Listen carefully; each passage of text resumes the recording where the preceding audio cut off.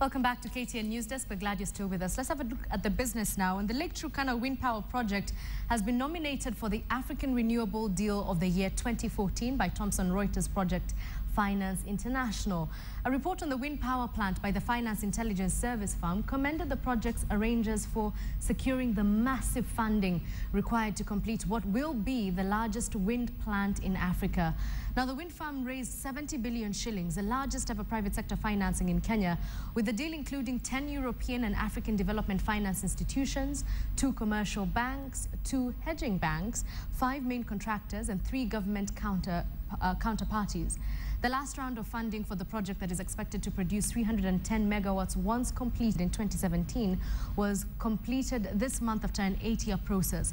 Now, the project also broke the record for the single largest sales order for wind turbines by a Copenhagen firm, Vestas. A Danish firm said the 365 turbines um, needed for the project is the biggest order in the firm's 69-year history.